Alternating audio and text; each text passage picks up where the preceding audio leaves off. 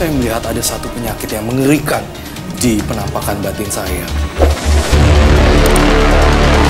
Ibu tirinya nggak mau ngurusin mereka. Kalau ikut aku, nggak bisa, aku nggak bisa kasih makan. Karena papahnya kan orang kaya. Itu karena kan aku ngambilnya pakai uang ranten.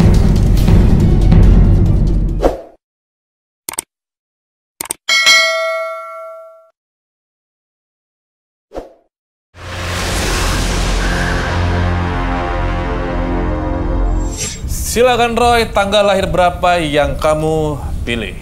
Oke, jadi saya merasakan eh, di sini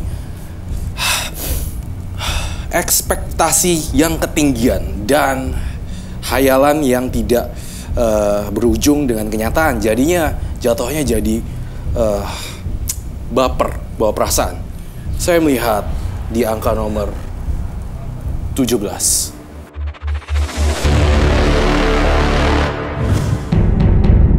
Lahir di tanggal 17, wanita ini bernama Eva. Terlilit hutang hingga ratusan juta rupiah. Eva pernah menjadi korban guna-guna. Karma buruk atau karma baikkah yang akan menimpa Eva? Bu Eva, saya melihat banyak tanda tanya di sini dan tanda plus di sini, Roy. Oke, Eva dengan tanggal lahir 17 dan bulan 9 saya melihat di sini. Harapan yang semu dan mimpi-mimpi yang eh, terlampau tinggi lalu jatuh kemudian ambles begitu saja membuat kekecewaan yang sangat dahsyat dan berat sekali. Bahkan kegagalan yang terjadi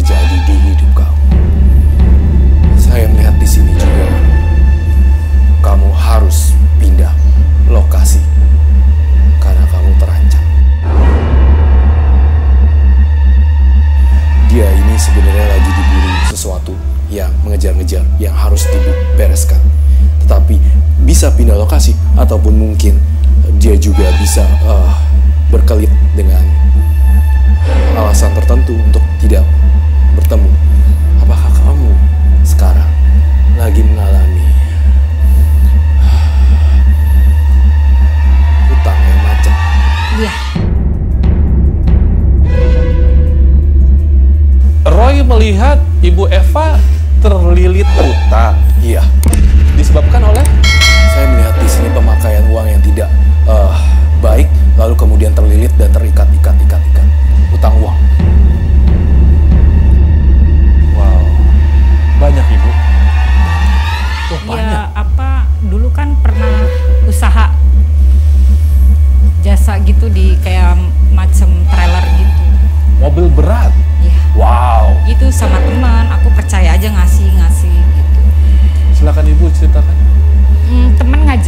Usaha itu kan saya emang pernah kerja di bidang itu juga kan cuman nggak sampai tahu banget gitu kan. Nah terus aku percaya aja sama teman gitu modal saya besar gitu. Tapi saya percaya aja sama teman aku itu main kasih kasih gitu sampai mobil pribadi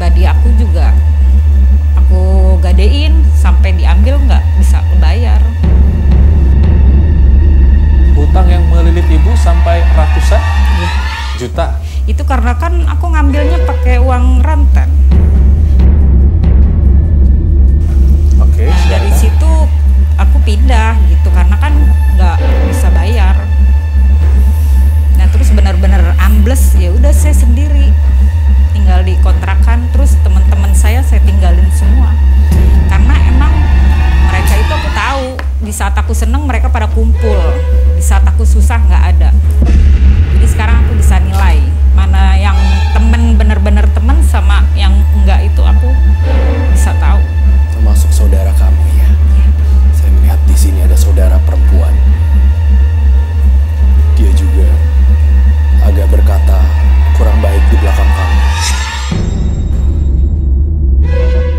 kan ibu menghindari dari kewajibannya. Ini apakah nggak berbuah menjadi karma yang buruk nantinya ya Roy? Pastinya akan berbuah menjadi karma buruk. Dari tadi ketika saya melihat kamu dari awal di sini, saya melihat ada satu penyakit yang mengerikan di penampakan batin saya.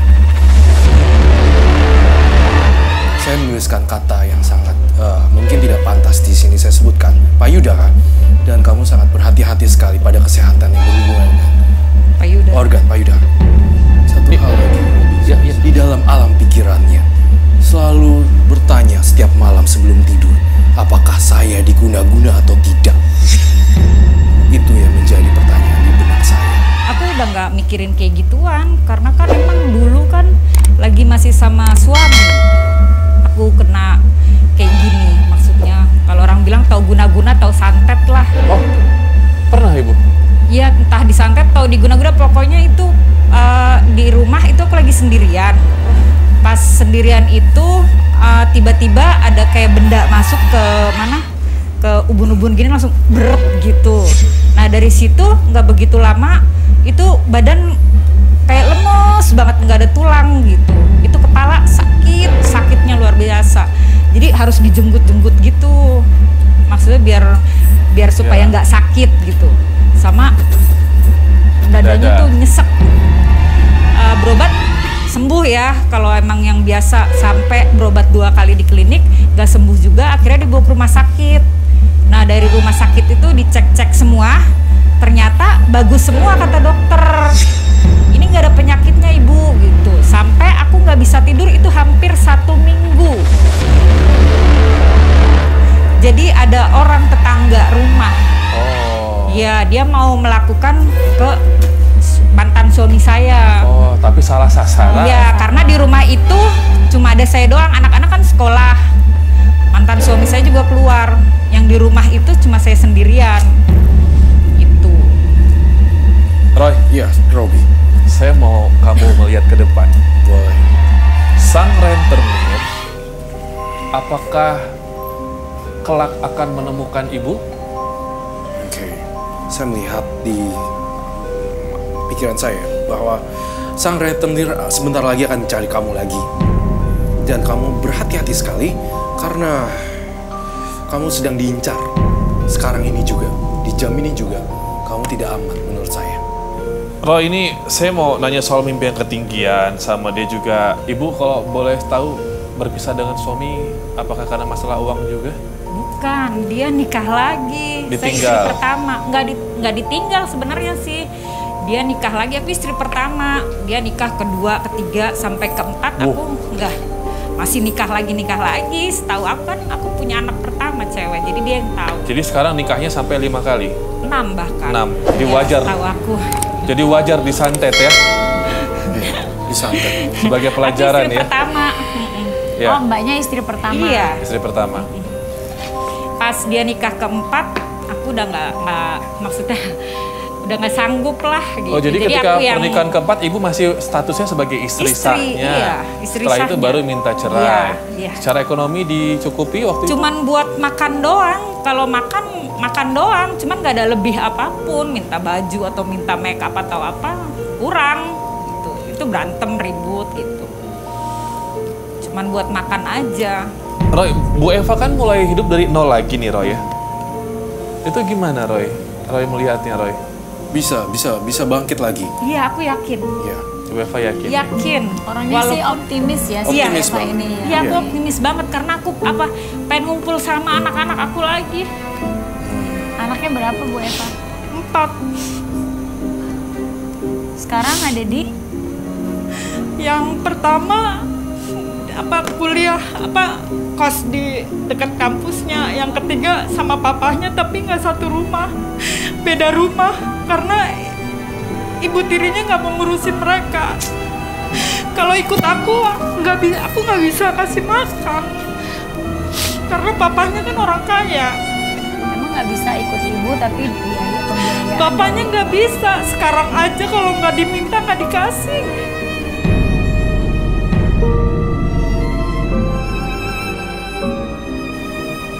Jadi saya serba salah. Orang tua saya udah nggak punya. Saudara jauh. Jadi aku sendirian. Betul sekali Ibu Eva. Saya mendapatkan gambaran lagi di sini. Mohon maaf Ibu Eva, saya harus menulis satu tulisan di sini. Adanya keluaran leb ya, ada lebam dan keluaran darah-darah gumpalan. Kamu pernah dianiaya, dis- dipukul, Ya sama mantan suami saya sering dipukulin. Galak dia. betul. Itu yang saya lihat dari Ibu Eva, dipukul. Sangat sadis sekali Robi. pernah KDRT pernah pernah apa namanya saya ngelaporin dia ke polisi juga pernah tapi pas setelah saya ngelapor suami em, mantan napi itu mohon-mohon supaya jangan dipenjara. Kan karena emang har- malam itu juga harus dipenjara kan. Gitu. tapi karena saya masih baik hati akhirnya saya cabut laporannya